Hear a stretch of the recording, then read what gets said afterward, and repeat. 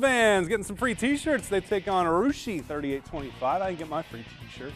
We love free t-shirts on Sports Report. How about Botkins Ethan Butcher? Hits the three.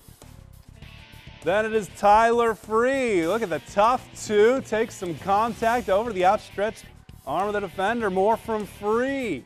Gets it down low and scores with the Russia Raiders. Answering on the road, Jordan York. Scores this one in traffic. How did he get it up and in? He did the foul as well. Then York again scoring down low. For the Raiders, he has 11, 19 points for Jack DePore. Botkins sticking around. Josh Madden it's the three plus the foul. That makes it an eight-point Russia lead. Raiders extend. They win this one 53 39. Zane Paul 15 in the setback.